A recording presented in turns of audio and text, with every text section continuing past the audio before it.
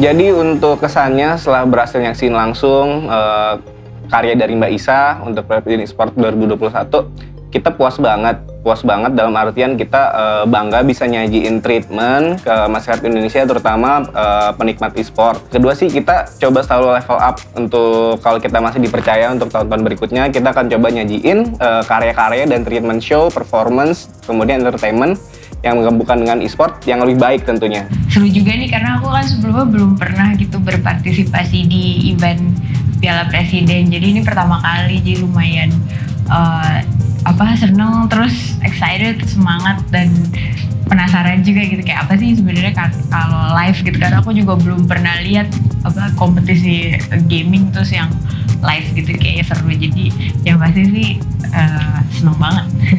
Oke, ketika ditampilkan langsung, disiarin langsung, disaksikan orang banyak, ratusan ribu orang, itu kita uh, cukup bangga sih. Terutama juga kita ngeliat hype di stage-nya, penonton-penonton yang undangan, itu juga wow, terkesima banget. Jadi emang keren banget lah pokoknya, nggak bisa diungkapin nama kata-kata.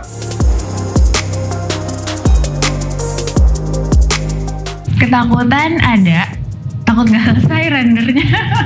tapi sebenarnya sih kalau takut enggak ya, tapi uh, masalah ini aja, masalah biasalah kalau aku tuh biasanya selalu nervous urusan-urusan teknis gitu. Cuman kalau dari segi kreatif dari internalnya sih alhamdulillah nggak ada ketakutan-ketakutan yang gimana gitu.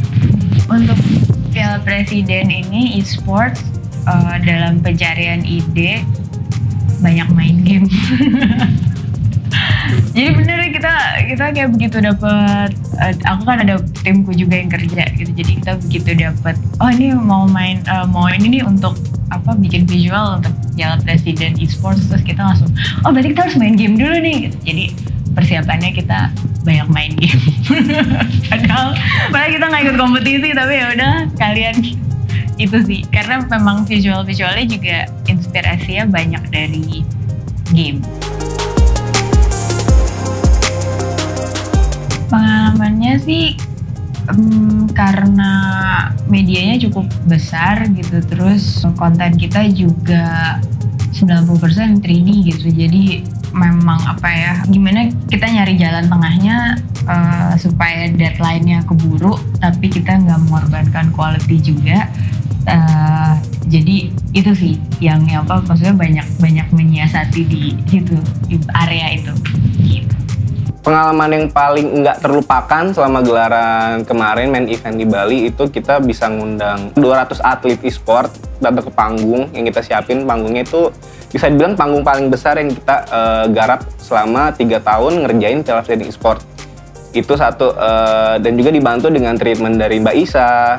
Itu entertainmentnya dapet, e-sportnya dapet, hype-nya dapet, kalau dari saya pribadi, selain yang tadi juga kita ngeliat animo di stage itu di venue orang juga wow kayak fokus banget ngeliatin treatment show yang udah kita sajikan kolaborasi sama Mbak Isa. Jadi puas banget lah. Hal paling sulit mungkin lebih di internal kita kali ya. Sebenarnya bukan sulit sih, cuman agak agak ribet gitu. Karena sebenarnya tim kita tuh terbagi dua gitu. Ada yang base di Jakarta ada satu lagi di Surabaya gitu. Jadi kita memang uh, apa apa ya tuker-tukeran filesnya tuh oper-operannya. Karena kan filesnya juga besar-besar banget gitu 10 giga 20 giga gitu. Jadi ngatur waktunya tuh oh ini udah harus upload tuh tanggal segini gitu. Kalau nggak nggak gitu.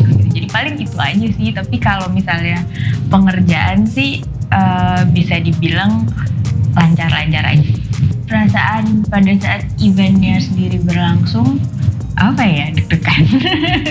Yang pertama sih deg-degan tapi begitu dia udah mulai terus visualnya udah kepasang seneng sih yang pasti karena ngeliat kerjaan kita di display sebesar itu gitu. Terus ada penonton juga terus kompetisinya juga seru gitu. Jadi overall sih aku sangat menikmati proyek ini kali gitu nonton apa acara game yang kayak lihat uh, PUBG gitu di display segede gitu terus lihat nonton orang main gitu. Seru banget ya ternyata gitu kayak wah rame. Dan dan terus jadi uh, kita tuh sampai satu tim lucu-lucuan aja gitu kayak eh, lo megang siapa lo megang siapa gitu. Jadi lucu sih. Yang pasti sih lega seneng lah pasti karya tim aku gitu bisa diterima dengan baik gitu dan makasih banget gitu maksud dari kami juga sangat mengapresiasi udah udah diajak terus responnya bagus jadi tapi itu sih yang terutama lega kayak wah bisa juga nih.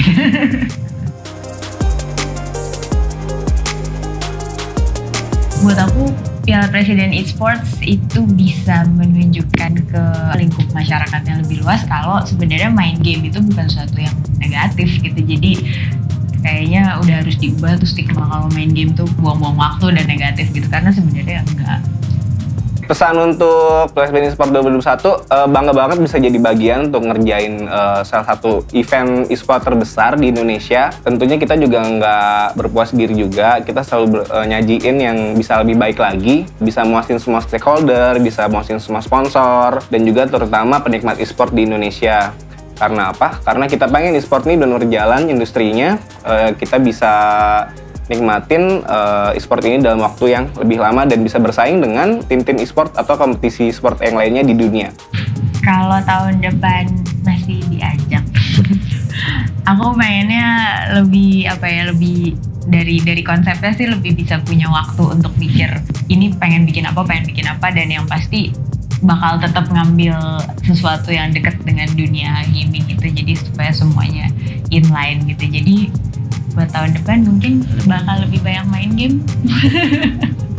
Acara e-sports ini selain kompetisinya gitu mungkin pengennya sih juga secara show lebih bisa dinikmati sama orang-orang yang bukan penikmat game juga gitu jadi lebih bisa apa ya orang yang lebih walaupun orang nggak suka main game atau nggak suka nonton orang main game masih bisa lihat shownya terus masih bisa malah jadi tertarik gitu untuk oh ini seru juga ya acaranya juga dari segi show eh, nggak uh, melulu soal gaming tapi tetap apa inline dengan gaming.